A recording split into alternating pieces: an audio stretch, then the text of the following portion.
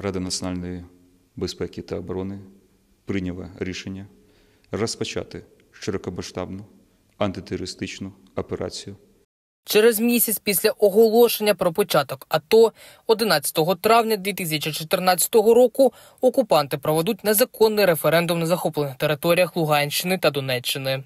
Після нього оголосили про створення так званих ЛДНР. У Сєвєродонецьку таки теж проводили, згадує Сергій П'ятниця. По вулицях ходили озброєні люди, то захопили поліцію, то захопили ще якусь будівлю ОБХСС. Наш підприємець, відомий з Ященко Юрій Михайлович, його взяли в полон, відправили кудись спочатку на підвал в Гіапі. Як потім він розповідав, що він був ну, таким свідком розстрілів, тобто він сидів в своїй камері, а в сусідніх камерах е, просто розстріляли людей, які там залишалися. 21 липня 2014-го Збройні сили України звільнили місто Рубіжне. Наступного дня зайшли у Сєвєродонецьк.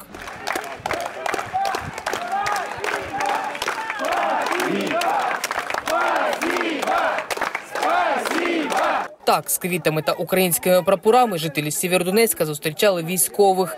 Місто пробуло в окупації 100 днів. І в липні вже йшло до того, що ось-ось звільнять, тому що ЗСУ наближалися.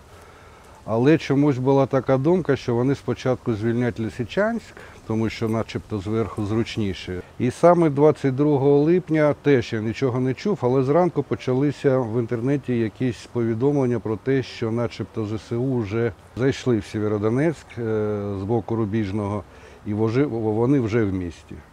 Звісно, переповнювала радість. У цей час готувалася військова операція зі звільнення Лисичанська, розповідає тимчасово виконуючий обов'язків міністра у справах ветеранів Олександр Порхун.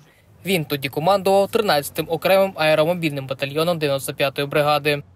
Перед е, Лисичанськом було е, зроблено е, перекидання підрозділу повітряним шляхом з населеного пункту Довгеньке під населений пункт Дяково для того, щоб закріпитись на, плацбар, на плацдармі і утримувати його. Ми зустріли спротив сепаратистів вже безпосередньо під час підйому до нефтебази, і там на висоті був підрозділ. Е, В принципі, ми його вибили, закріпились і на наступний день спланували і взяли під контроль нефтебазу, а в подальшому взяли під контроль населений пункт Лисичанськ. Лисичанськ звільнили 24 липня 2014 року. Від початку оголошення антитерористичної операції і до моменту звільнення Лисичанськ пробув в окупації 102 дні. Владислав Уколов, Суспільне новини, Донбас.